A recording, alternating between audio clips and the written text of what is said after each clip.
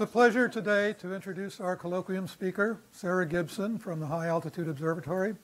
Sarah did her undergraduate work at Stanford, her graduate work at the University of Colorado in Boulder. She spent a few years at Goddard Space Flight Center and Catholic University before returning to Boulder to the High Altitude Observatory where she is a section head.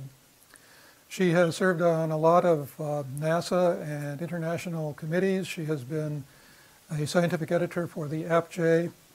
She's done work in a variety of things having to do mostly with the solar magnetic field, starting with theoretical models of flux ropes that erupted to form coronal mass ejections, moving more into somewhat more uh, observational work with the observations of coronal cavities formed by those flux ropes. And today, uh, she's, and mo most recently, she's been moving into a tool that you can use to connect theory and observation by making predictions from any theoretical model for what you should observe with the various solar instruments. So today she's going to tell us about how and why magnetism matters. Sarah. Thank you very much, John, and thank you for the invitation to be here. So yes, I hope uh, that I will convince you that magnetism matters, both from the point of view, of being a fascinating astrophysical problem to work on, and also from a very down-to-earth uh, sense in that um, space weather has become a reality in our modern technological society. So first, it is a fundamental problem that spans uh, processes from the laboratory to astrophysical plasmas is the process of the storage and explosive release of magnetic energy. And this will be at the heart of what I'm going to talk about. Um, just to give you a little survey here, this uh, shows you a picture of um, one of the most, the process that I'll talk about is a solar flare.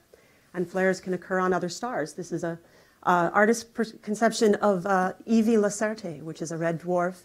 It's about 1% of the luminosity of the sun and about a third of its mass.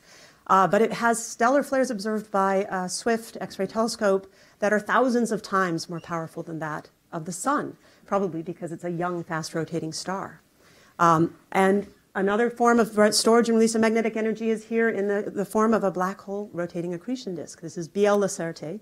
And this is, a, a, again, a conception of what, how magnetic fields could twist up and shoot out a jet of material that would explain observations.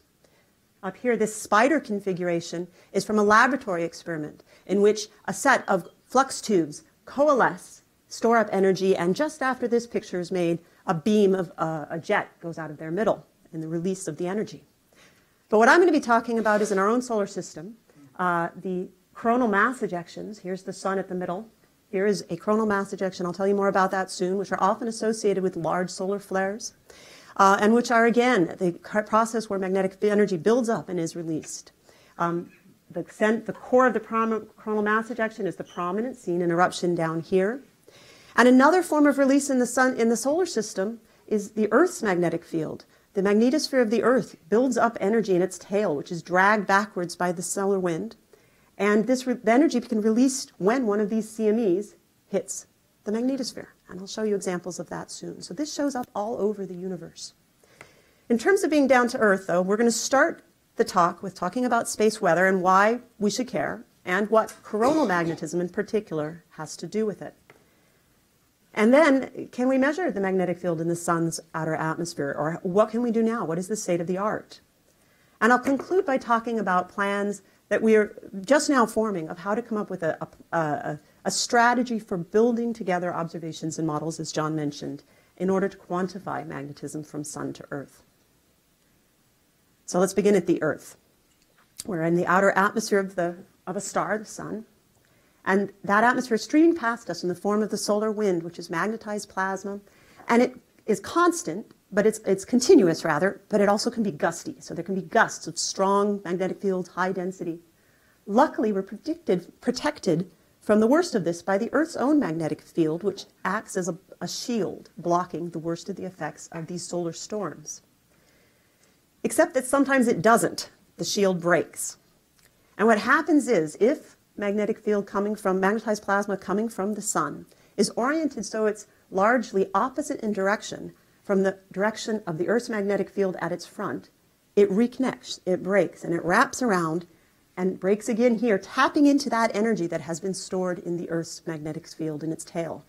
That energy is then transferred, and for instance, transferred along magnetic field lines, especially to the polar regions, creating the very nice effect of aurorae, but also, for example, setting up ground currents which can interfere with uh, power grids and cause blackouts and all sorts of problems. So the point I want to make with this movie is to show you that the direction of the magnetic field matters when it comes to whether or not something coming from the sun is going to cause a big disruption of our systems here on Earth. So what do I mean by disruption? I'll give you a quick overview of the kind of uh, space weather that we may see. Just like in a hurricane, you can have wind and you can have rain, different manifestations of that huge energy system. In space weather, when there's a storm at the sun, there's different manifestations. You can have light, that's what gets here quickest, of course, from X-ray to radio. The magnetized wind, which I was just talking about, that gust coming past, that can take something like one to three days before it interacts with our Earth's magnetic field. And then particle radiation. There's acceleration of particles that move to near relativistic speeds and come not long after the light, in the order of tens of minutes or hours. And these all affect the Earth in different ways and the Earth's space environment in different ways. The light can affect we can have radio blackouts, satellite drag, problems of navigation. The geomagnetic storms, again, they can couple with the power grids. They can cause ionospheric disturbances, navigation. And the radiation storms are particularly worrisome. We're protected here on Earth for most of this uh, from the Earth's magnetic field, but also from the Earth's atmosphere. But an astronaut going to Mars, for example, is, is at risk from radiation. Um, and again, communication, GPS, etc. So 150, 200 years ago, space weather was just pretty lights in the sky, and it really had no adverse reaction. But now it matters. Um, and just like with weather, you have to think in terms of the ordinary and the extraordinary. The ordinary, that's really nothing but like ordinary. This is, this is a movie taken out the window of the, the shuttle, actually. But these sorts of storms that give you aurorae um, occur all the time. Um, a storm at the sun can happen when it, you're at the height of solar activity uh, every day, more, more than once a day uh, to maybe every couple of days when activity is lower. Not all of them are aiming at the Earth, but it's pretty common to get auroral activity at the Earth. What's less common is a superstorm. Uh, when, so, for example, maybe on a 100 year time scale, there was one measured in 1859, I believe, called the Carrington Storm. This was such a big solar flare that Carrington was actually looking at a projection of the sun. He was drawing sunspots, probably, and he saw a flash of light on the projection of the sun. It's called a white light flare, and that is not common to have something that bright. And sure enough, not long after that, there's geomagnetic activity, which they were able to measure at this time. And the first real technological impact, uh, telegraph operators noted that there were sparks and there were fires lit of papers in the telegraph offices. So at that point, it became a reality here on Earth.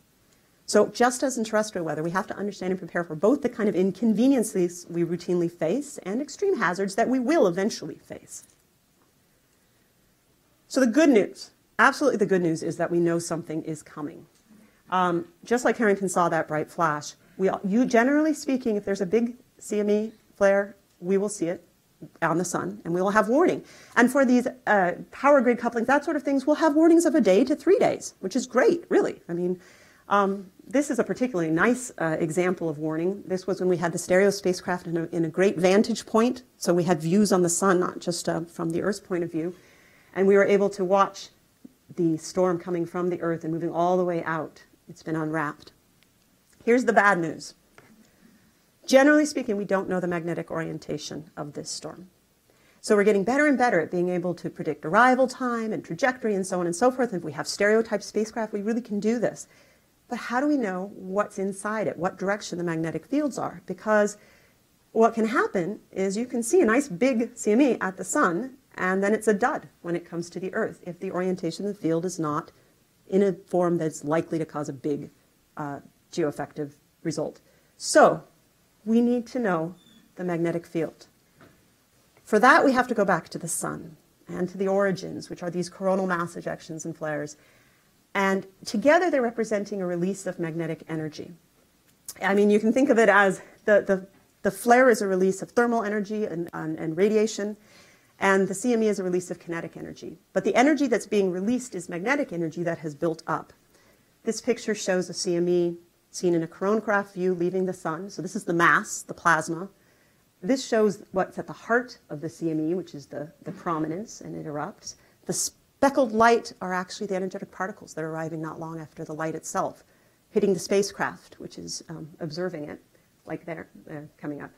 And here we have a picture of the flare. So here comes the energetic particles. Now, I talked about at lunch coronal cavities. They're one of my favorite examples of stored magnetic energy um, because we see them persisting for days and days and days. And we have a model that tells us that we think they have energy stored, and I'll show you that in a minute. And then they erupt as the CME. And the model that we think explains the cavities is a magnetic flux rope. A magnetic flux rope is it's basically a concept for a magnetic field that winds around some sort of axis.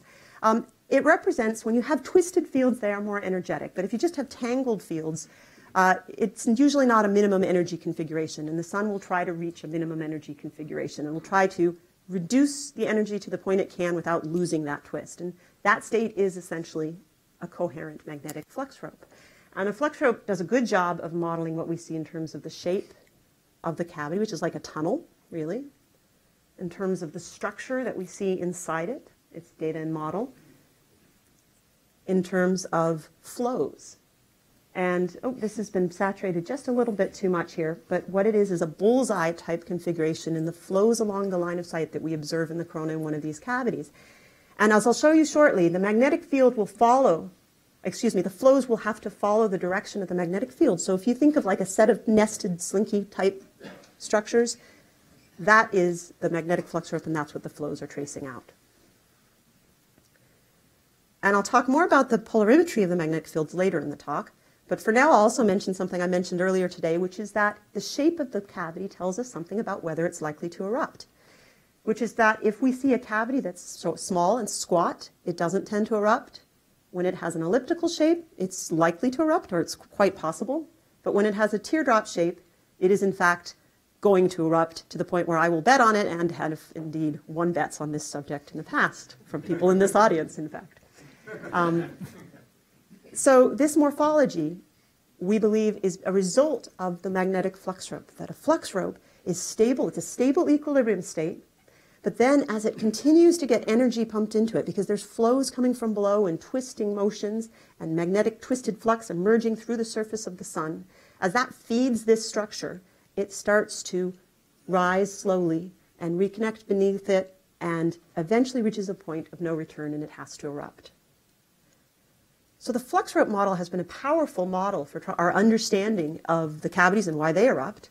And another observation that they have been used to explain are so-called soft X-ray sigmoids. This was an observation from some time ago where the sun in X-ray has these active regions. These are, all, these are basically sunspots that you see in white light will show up in X-ray as these bright regions. They're very hot, very strong magnetic field. And some of them have a sort of an S or a backwards S-like shape. And what this work did was to show that the ones that had the S shape were more likely to erupt in the next day or so and that they transitioned from this S shape to something which is like a simple curved loop. And this can be explained in terms of flux ropes because the flux rope has a boundary, a magnetic boundary, which is sigmoidal in nature, and it's a place where you expect to have reconnections and heatings occur. Moreover, after an eruption, the magnetic field closes down and leaves the sun in a configuration which is more simple, le less energy. There has been energy release in this process. So all that is to say that we have a pretty good idea of what may well be the magnetic structure of these precursor structures, the things that are coming out to the Earth. So all we have to do is to start from a magnetic flux rope, match it to our observations before the eruption. We have simulations that can drive that eruption and then we can show it impacting the Earth. And so we're done, right? We should be able to figure out what that magnetic structure is. The trouble is it's more complicated by that because the context matters around the source, both in time and space. And I'll explain what I mean. First of all, even in the simulations, here's a simulation, here's an observation, we notice something. Sometimes when these things erupt, they rotate. Now you can imagine if your whole point is to try to understand the direction when you come to the Earth, you really want to have a handle on how much rotation happens during the eruption. Um, the picture, what I have here is a, a, model with the mass that we think is erupting is the brown dots. And on the left, if you watch it a few times, I think you'll see that structure in the middle is likewise ro rotating.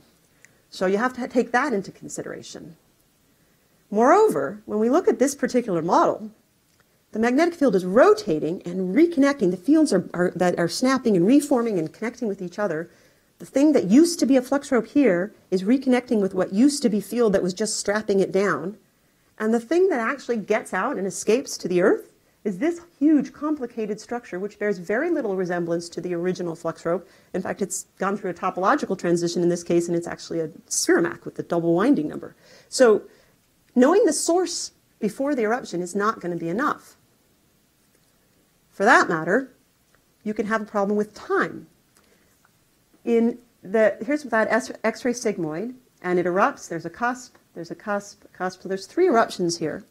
And what's happening is, oops, I don't want to just give that away. The flux rope is actually breaking, so only part of it is erupting, and some is left behind, and more twist gets added up, and it goes again. So the same active region is firing off over and over and over again, and that's what these observations show. And what this does for the model, in terms of the, the simulations we can see, is that when that happens, they catch up with each other, and they do what's called, they become cannibal CMEs, because one CME bumps into the last one. And this can have a big effect on space weather, because the first CME can act like a snowplow, something I'm sure you all very familiar with right now, and pave the way so the next one moves along even faster. And there can be a, a particle acceleration that happens in a, in a, because of a seed population that's there and then gets accelerated. So these can be particularly devastating. In fact, people think that the Carrington flare was one of these, where you have more than one eruption catching up with each other. So again, you, you can't just take a single source and just kind of extrapolate it out to the Earth. That doesn't work. And then we come up with all these names. These are sympathetic CMEs, which is very, very nice. Um, basically, the idea is that you can't think of the source in isolation. You can't just drive a model which ignores the rest of the sun.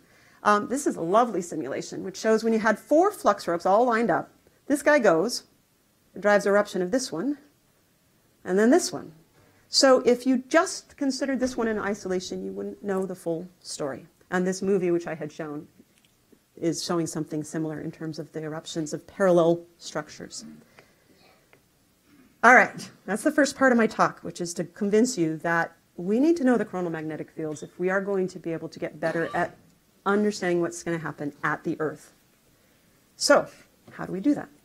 Can we measure them?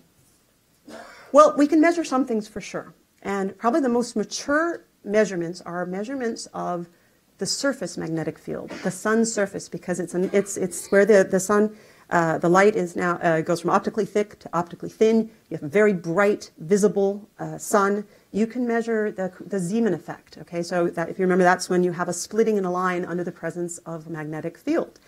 And you can measure the magnetic field, which is shown here, the black and white, the different poles in and out. And you can do a very simple model called a potential field model, which basically says, what if my magnetic field is the gradient of a scalar like this? And then it says, well, we know there are no magnetic monopoles, so div B is zero, and those together give you Laplace's equation, which can be solved for in terms of spherical harmonics. And that's what's done in this nice movie, which is showing you the three-dimensional global magnetic field consistent with solving Laplace's equation with that boundary condition, which is very, very well observed indeed.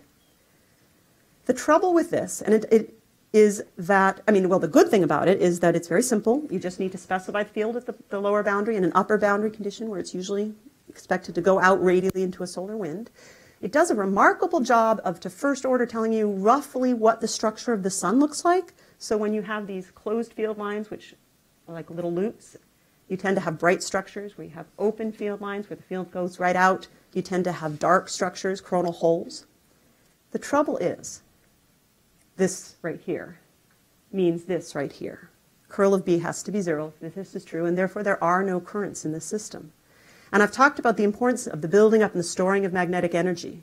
And that energy is basically stored in the form of these currents. So this is missing the piece that we're really interested in in terms of being able to understand what's going to erupt.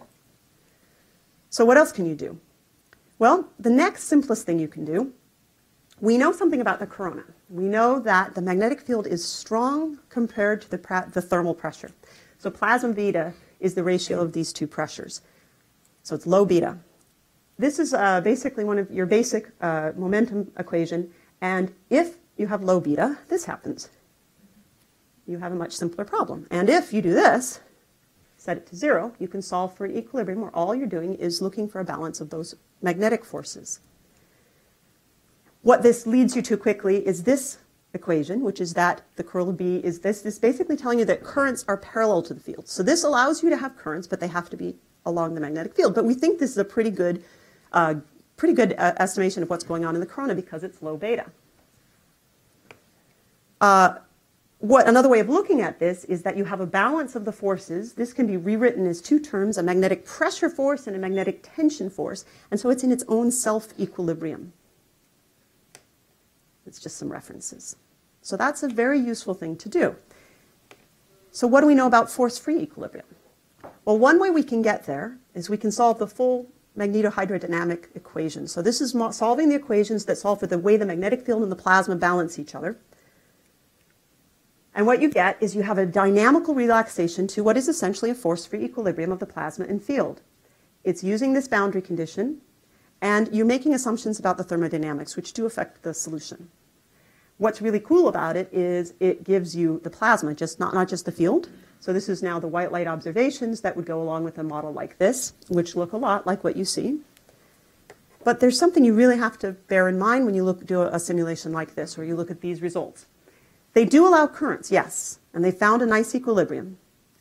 But they're taking a single time boundary condition. Okay, so they're finding the force free solution that is consistent with that single time snapshot boundary condition. But what happens in the sun is that there's a constant emergence of magnetic flux from below, and there's a constant twisting up of magnetic fields. And that information is lost from that line of sight boundary condition that's used here. So you've lost the information of the buildup of the energy, which again is sort of what we're trying to get at here. So here's another approach.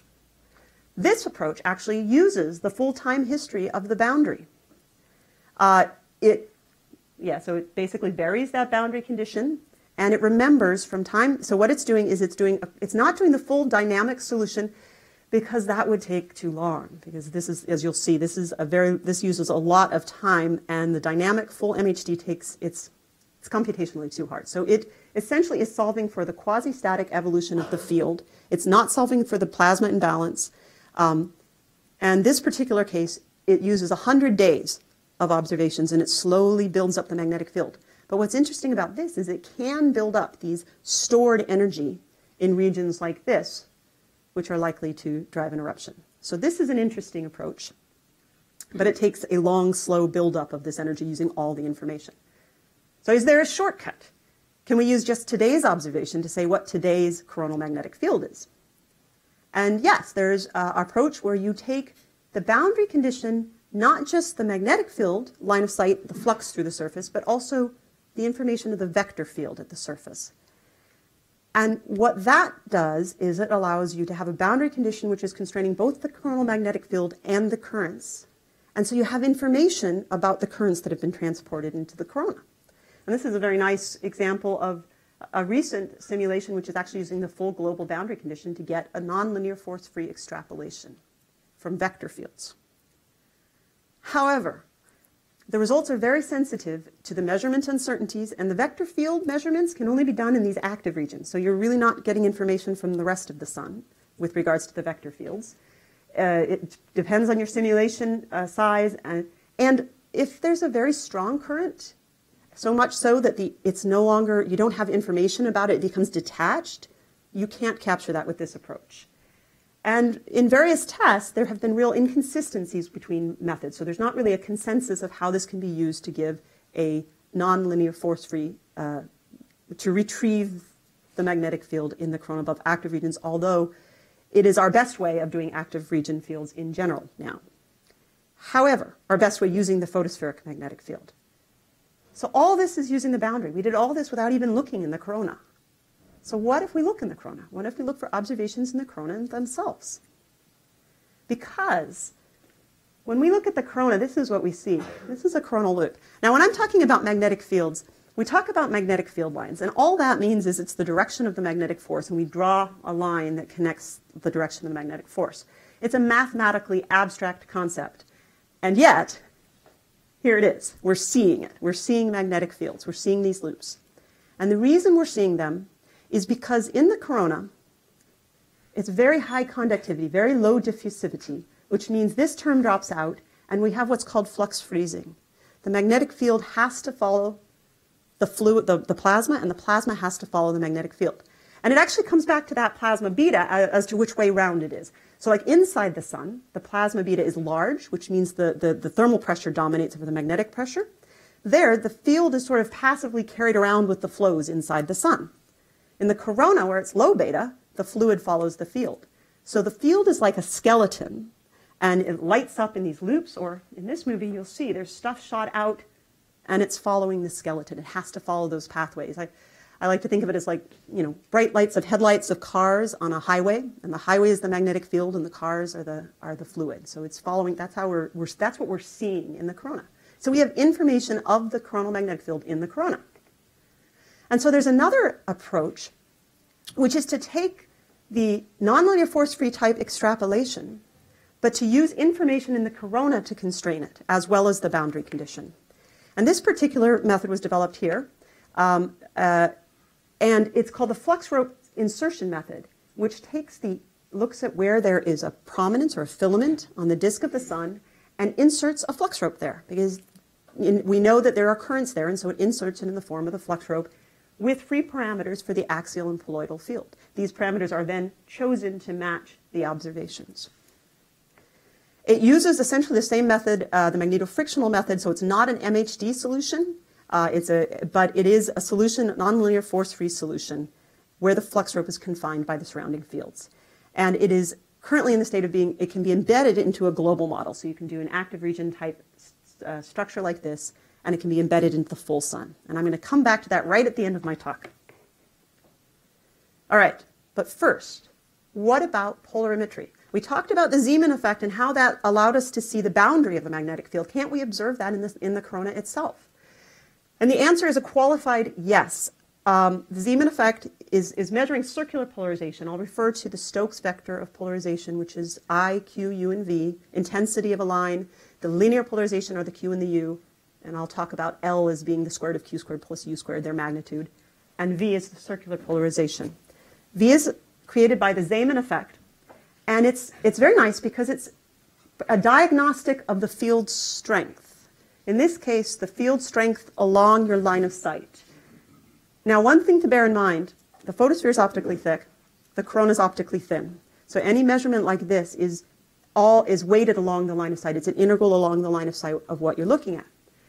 Um, the Zeeman effect favors long wavelengths, visible IR, because otherwise the splitting is, too, is, is basically can be bigger than the, the width of the line. I believe that's correct. And if you're looking in the visible IR, the sun, the surface of the sun is invisible and is so bright that it's going to blind you, and that's the only thing you're going to see. So you have to use a coronagraph. You have to block out the surface, which means you're getting information just here at the limb. We call the limb of the sun is the, the edge. Um, and it's a difficult measurement to make. It requires very high telescope sensitivity. This is a, a, a measurement that was made, but as far as I know, has not been reproduced about 10 years ago. Um, it's a, it's, it requires very high sensitivity to make this measurement. All right, so that's one way to get magnetic field strength in the corona itself using polarimetric measurements. Another way to do it is using radio gyro resonance. And what this does is actually it's, it's very complementary to the other approach. Because what happens is you have electrons gyrating, creating an opacity that forms in a thin layer. And this layer is essentially giving you an iso-Gauss surface because there's a linear scaling of magnetic field. In this case, the last one was line of sight field. This is magnitude of magnetic field with frequency. So for a given frequency, you're picking out a surface of a given magnetic field strength. It's, uh, it's a way of diagnosing magnetic fields in a very strong active region. Um, and one thing to bear in mind is you don't know the height of the surface. So you know this is an iso surface, but you're looking at it in projection and you don't know what height each piece of information gives you. But it is a diagnostic. The third diagnostic of strength is we see waves. And these are Alfvén-like waves, and you can come up with a, they're velocity perturbations actually. So we can observe these perturbations and we can get phase speeds. And it is uh, basically the idea is that they're, they are now sensitive, proportional rather, to the plane of sky field strength. So all of these are giving you different pieces of information. You do need the density information as well. And you also have information because the waves tend to propagate along the magnetic fields. So these are, this is the state of the art at the moment in terms of diagnosing magnetic field strength from measurements in the corona itself, coronal polarimetry. Um, the first two were, they're not done routinely. they they've been done kind of proof of concept. This observation is now in a synoptic telescope, which I'll go on and describe. It's called the coronal multi-channel polarimeter, and it is a uh, it's basically 20 centimeters telescope, so it's quite small. It was meant, I mean, it's, it really is a prototype for this measurement, um, and it's in Hawaii. It takes daily observations, and these observations are available, widely available. It can take the circular polarization, but with 20 centimeters, it simply doesn't have the light gathering capability to make that measurement. For that, you need a bigger telescope. I'll mention shortly a bigger telescope that's proposed, and there's another big telescope that's being built, which is the DKIST, which you may have heard of, formerly known as ATST, which is going to be a very large solar telescope, and which will be able to make measurements of the circular polarization. But what COMP can do right now is measure the linear polarization because it's 100 times brighter. It's daily observations, full sun. Um, this linear polarization, and what we plot here is actually the fraction of linearly polarized light, is telling you something about the direction of the magnetic field. It operates in this case as a depolarization, so where it is dark, you learn something. It's bright when the field is in your plane of the sky. It's dark if your field is directed right along your line of sight. And it's dark when the field direction in the, in the, in the corona goes through this magic angle of 54 degrees. And when it does that, it goes, the linear polarization drops out to a null. And at first, this seems like a, a poser, how are we ever going to figure this out? But it actually turns out to be diagnostically a very useful thing. The direction of the linear polarization that you're measuring is essentially telling you the direction of the actual magnetic field in the plane of the sky integrated along the line of sight, subject to an ambiguity because it flips by 90 degrees when it goes through this 54 degree angle. So, yeah, I know that's a lot. And the only way that you're going to get a, some sort of sense of that is for me to give you a good example of how this actually could be useful. Because it sounds like, how are you possibly going to pull out information from something that complicated? First of all, the line of sight. A lot of people were worried that we're not going to get any information because it's, it's integrated along the line of sight. Well, everything you see in the corona is integrated along the line of sight. So there are structures that have structure that can be resolved. And one of the best is my favorite, the cavity. Oh, yes, it's integrated along the line of sight. So I would not forget to tell you, full disclosure. And this is what a cavity looks like in this linear polarization measurement. And this is why. We think they are magnetic flux ropes. And if you have a magnetic flux rope at the axis, the axis by definition is pointing right at you, which means you'll get a linear polarization null. And when you go through 54 degrees in the flux rope, which happens along these surfaces, you'll get a dark inversion line. And when you go out above the flux rope to the simple arcade, you'll get a V shape. If there was no flux rope, you'd get a straight up V and nothing else. Now, what happens when you integrate that along the line of sight? I've mentioned that these are tunnel-like structures, right? So in a tunnel-like structure, it reinforces and this is what you get. You get these lagomorphs, which are basically rabbit-shaped structures. That's what the name means. And this is what it looks like when you take a magnetic model and you synthesize what you would expect. And this is what you get from the observations. Um, the green arrows are showing you the direction, and these are the nulls. And you can see the nulls have largely been preserved and kind of smeared out in the rabbit's head here. And you can see the direction of the field is coming up like this, inverting, and now it's going up, and so on. This is a very robust observation. We've observed cavities now. Uh, cavities can be present three or four in a single day, and when we see a clear cavity, we see a lagomorph in the in the comp observations. So this is a clear indicator of the magnetic structure. Okay, this is great, but if we're ever going to predict BZ at the Earth, we're going to need more than these sort of um, confirmations of our models. It's good. It's definitely good. I like to see good evidence of a flux rope. We ultimately want the full global three-dimensional magnetic field at the sun in the corona at any given time so that we can run models from it and we can figure out what's make probabilities forecasts even of what's going to happen next. So that brings us to Cosmo, which is our proposed, I mentioned there were two telescopes. The DKIST is going to go to resolutions uh, that we've never seen before in the sun. And it's going to do fundamental science of the, those, those very, very, very high spatial resolution, temporal resolution but it's a microscope. It's zooming in on one region on the sun to do, diagnostic, uh, to do you know, diagnostic work. The concept of the Cosmo is to do the whole sun all the time, because if you're going to build a global field, that's what you need. Um, Cosmo as a telescope, here's our, our nice artist conception of it. It consists of three telescopes. Two of them are actually, one of them's done, it's online. The other is prototyping. And the third one is the, uh, the large, it's basically comp, but one and a half meters instead of 20 centimeters. And that's what we're hoping to get funded so we can build it. But here I want to pause because it's all very well to have a really great telescope that takes the best observations ever. It's going to open a new observational regime. We know it is. I mean, even COMP, COMP Uh, amazed us with what we've managed to get from this, this little 20 centimeter telescope. So we know we will get discovery with Cosmo. But if you want to quantify the global coronal field, you need a strategy of how you use these observations. You can collect all the photons in the world. But to get to the end goal of forecasting BZ, what do you do? So we need a strategy. And so the strategy that we're building up right now is to start with the observations. You cannot do anything without the observations. But we also need models, and we need global models to try to put it all together. It's very hard to see how you could do this analysis without having some concept of how the magnetic field in the full sun is connected. And we have really good models. This is a nice example of one of an eruption where the color coding tells you the direction of the magnetic field. So it's uh, blue for BZ negative. So this is giving you that example. And then we need more than that. To pull it all together, we need, we need data science. And we're starting to collaborate um, at NCAR with the, the computing lab there to try to come up with methods that pulls this all together and helps us figure out how we can use the observations and the models together. And this is our framework. And I'll give you a little bit more detail before I finish. First step in any, this is an inverse problem, right, that we're talking about, going from the observations by way of the models to come up with what we want, the physical state, the magnetic field. This is an inverse problem, and you cannot do an inverse problem without a forward problem. And so we've built up a network of uh, software which can go from a physical state, density, temperature, magnetic field, and generate a wide range of observations. Many of the things I've shown you today, the white light observations, the polarimetry, the extreme ultraviolet, all of this. Um, soft X-ray radio observations as well. And we use existing software in order to do the line modeling of the extreme ultraviolet and the ultraviolet observations. For example, people here work in these regimes.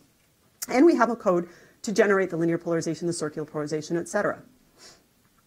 What this lets us do, first of all, is to get a good, uh, is to basically very simply model how, for example, introducing a flux rope into something that was originally a potential field and there's the V, which is there just because it's 54, 53 degrees, becomes a lagomorph when you introduce a current. And the higher, the more current you introduce, the higher the head of the, the rabbit gets. So we can, we can forward model these things. And so we're going to put it together in a scheme in which we start. This is a collaboration now between um, people at NCAR and with here at CFA. Is to do a forward fitting of the global field, where we start with an initial guess something like this potential field, maybe something more complicated is our initial guess. We generate synthetic observations from the potential field or whatever our initial model is, and we'll identify the regions where they fail. And we add currents to those regions, and we do this using this method that I described before of flux rope insertion.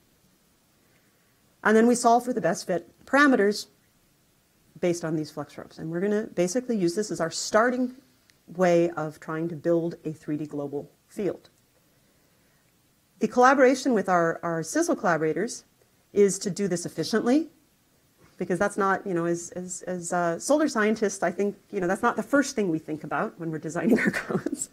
and it's very important. And for one thing, I've been told, and I do actually understand and agree now, that the code that I've written is embarrassingly parallel, in that I'm taking the same calculation many times, and I could do supercomputers very quickly. Um, the idea is to do statistical methods. We're going to solve an ensemble of maximum likelihood solutions. And this is important. We're going to look at the different sensitivities of the problem to different kinds of observations. And in fact, we will get uncertainties from our statistical distribution that can help us design and choose measurement strategies. We have all these observations, and I think I've shown you the, the importance of the polarimetry, um, both now and the ones we hope to get in the future. The importance also of the coronal observations and the emission and so on. How do we use all of them? We have a lot of information. And the boundary. We can't forget the boundary. So what we're going to do is we're going to develop test beds and using these forward codes we're going to create, we're going to start from some energized coronal field configuration and set, design a set of uh, fake observations that we can use to test our models. both the ones we have now, or we know we're going to get eventually, and observations. This would require a, a, a, space mission because it's in the Lyman alpha in the ultraviolet. But this is another kind of polarization. And the thing is that these different observations give you different sensitivities. Some of them, the radio observations, can tell you about the field on the disk of the sun. The infrared can tell you about the field on the limb of the sun. The ultraviolet gives you a different sensitivity to the plane of the sky orientation than you have from the infrared.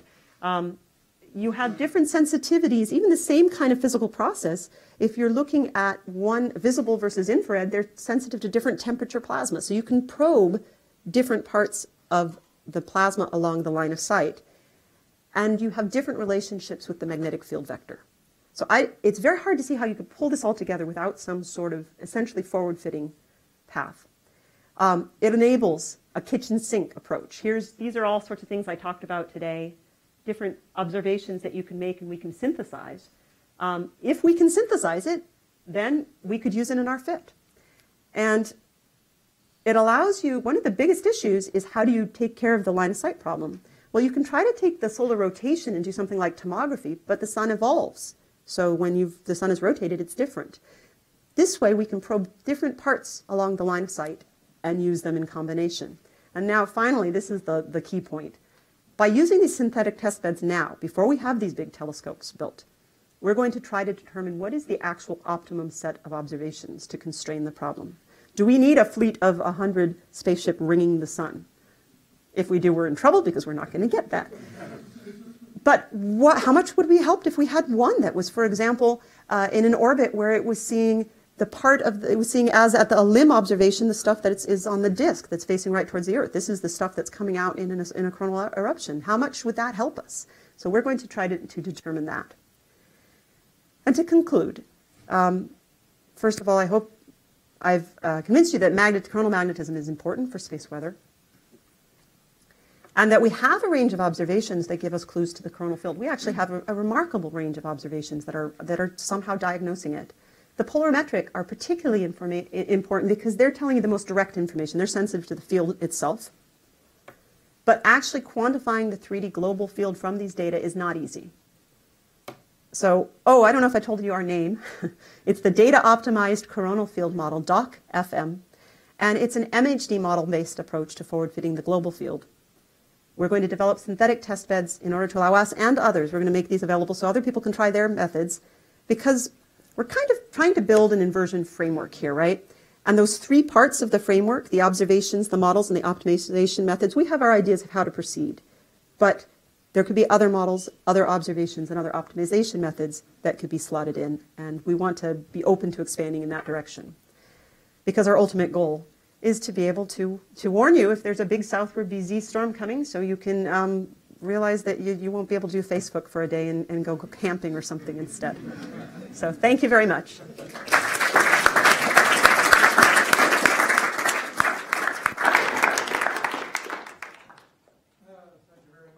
That's some very impressive data. Are there any questions?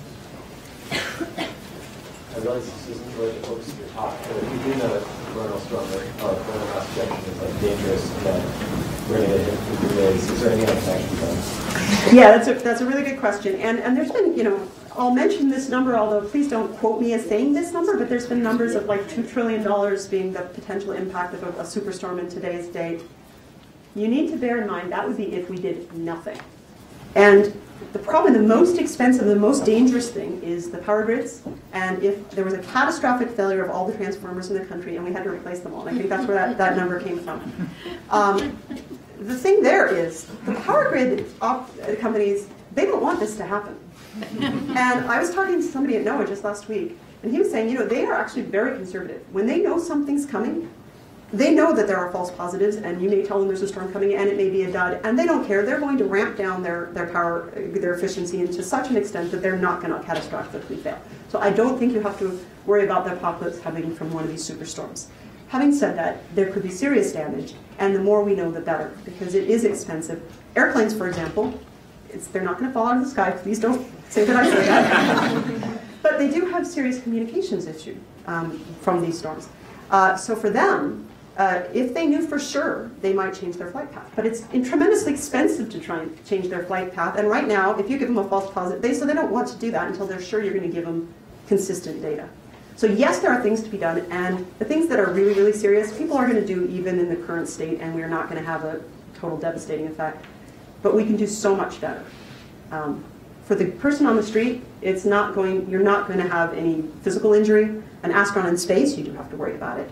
It's really the technology, the satellites, the communications, and the uh, power grids, that kind of thing. So, this is probably a very ignorant question. You've got these beautiful models of these flux ropes, and most of them are anchored in the sun. And everything's okay under the photosphere, right? Are you obeying the laws of physics? That's a very good. It's a very good question because it's very easy to get stuck in your regime and say, "Oh yes, I'm, that's all under the sun, and I don't need to worry about it." Um, yes, we are obeying the laws of physics, and more than that, uh, the models, the next generation models, are very much models that cross that boundary. And so they're modeling the, the transport of magnetic flux inside the sun and through the surface of the sun and into the corona. So that's definitely where the modeling is going. Um, in the meantime, we have a boundary condition and we use it, and how it gets that way, we don't worry too much about, but it is done in a way which is physically sensible. I don't know if that answers your question. Yeah, but there is, I, I do think that is what needs to be done, is that kind of the, the, the emergence and the full model from inside to out. They're different regimes, though. You can imagine, I talked about the plasma beta, they're physically very different regimes, and so getting something that works in all regimes simultaneously is a challenge. So it seems like the flux ropes do have a very clear observational signature, and I learned a new word today, lagomorph. That's a great one. Thank you. like, what's the context? How much of the problem is knowing where the flux ropes are actually solving? Like, are they a huge part of determining the structure of the magnetic field? Do they really place a strong constraint, or is it just kind of a cool thing, but it's not that coupled to the rest of it? Fair enough. I would say, and I'll be loose in my definition of a flux rope. I'll talk about a concentration of current along a neutral line. There's some uh, debate about whether uh, if they twist around more than a full turn, and if they don't, they're sheared, they're not twisted. But don't worry about that. The accumulation and the twist of shear along a neutral line is fundamental to the sun's corona, because that's what's the, that's where these prominences are, and coronal mass ejections are utterly dependent on the location of these prominences. So they are fundamental to space weather and CMEs. Uh, yeah, uh, making a model like this is totally essential for the astronauts because there's so little delay time. You have to model the actual thing on the sun. For the uh, hitting us, you could for uh, space weather and knocking out the power grid. Uh, not, you could just have a ring of satellites that was internal and just measured the direction and the amplitude of the uh, thing. So, in a way, you don't really need this. It's, it's a good point because actually the most useful information is from a satellite. It's not it's not ringing. It's just one it, it, it's sort of just upstream of the Earth, and that is the, the final proof test of what's coming. And there's about 20 minutes warning from that. Yes. Okay, so that is the, the real proof. But it would be nice to have more than 20 minutes. Uh, yes, you could have. Well, there's all sorts of schemes for doing that. Yeah. But what I, what I didn't know that was how your modelling is going to deal with that twisting, which you said was In so the in the in the in As- the on the ejection. Right. So this is the first step.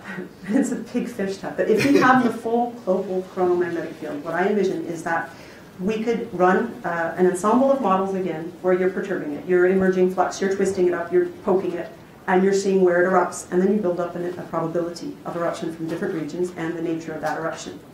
Once it erupts, and, and so as you get more data, you narrow in on that. And once it erupts, it's a, it's a kind of data assimilation. You have, again, an ensemble of all the possible uh, how it interacts with the fields, etc., and you use the observations to narrow in on that. And I think you have to also have observations, not just in the corona, but all the way in the heliosphere. There are Faraday rotation observations, heliosphere images like I showed you before. You continue to constrain the problem as it goes, and then hopefully you'll have all the information you need about what arises here. But it's, a, it's an end-to-end problem ultimately, and a big one. How much do these uh, eruptive events contribute to the steady state heating of the corona? So probably not so much to the. It's a really good question. I don't actually know. Um, but I, my gut, the thing I jumped into, is probably not so much. There's magnetic energy constantly coming into the corona, and it's being dissipated in the form of heating. whether that's happening through little tiny flares all over the place or through waves that are heating or some combination is, is a matter of debate. Um, there's also the solar wind is being acceleration, accelerated, and so there's, there's, there's energy transport. And then there's the energy that builds up in these prominences, in these flux ropes, and it goes and it erupts. And you have a fast release of thermal energy, but I don't have the sense that it's a huge contribution to the heating of the corona. Kathy's shaking her head and she would know. The CMEs themselves are about 10% of the mass flux in the solar wind, because there's a background solar wind all the time.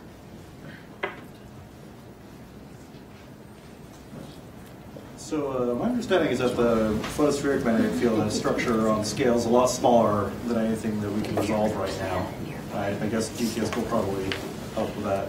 Um, seeing as that's one of the boundary conditions of one of these models, is that does the uncertainty of what's going on those small scales affect things a lot, or is that kind of average out? It's an interesting point because what happens is you have a sort of a cascade from small scale to large scale of the magnetics. Uh, uh, so what you have is you have twist, and you can have tangled up twist, um, and that's not very. It's a highly energetic state. You can minimize your energy by going to larger scale, and so the presence of these flux spurts has been argued to be the a result of an inverted cascade to a Taylor state of magnetic configuration. So then, what's happening in the small scale, scale doesn't really matter to the large scale dynamics here. It's just part of the process that's feeding. So it's very important for other things, probably for coronal heating, for example. But from the point of view of it's it's a, it's a it's um, yes, that's another thing which I, I like like the solar interior. I, I'm putting under the rug a little bit, but I think that's because there's a fundamental thing happening here, which is that the spatial scale of these structures is the result of an energy minimization process. Um, If I could ask one quick question, Uh, in the forward model, and you're using Chianti, you're predicting the AIA brightness in these EUV bands. You must have some kind of uh, prescription for the heating as a function of magnetic field or something like that. Are you thinking of this as a way to better understand the heating, or is it really a way to find out more about the field? It's absolutely to be used in exactly that way. What now, Forward is agnostic about the models in a sense because the way it works is you give it a magnetic physical, a physical state, density, temperature, using whatever model you want. And it can be a model where you figure out your density and temperature from, from some sort of scaling law or whatever. But that has to be the input to Forward, which then takes that state and creates the observable. So Forward doesn't do the actual calculations of the physical state, it uses them as input. It comes with some canned analytic models and some tie-ins to existing resources that are on, you know, software that exists. But you can bring your own cube of whatever model you want to do and test it that way. All right, are there any more questions? All right, let's thank Sarah again.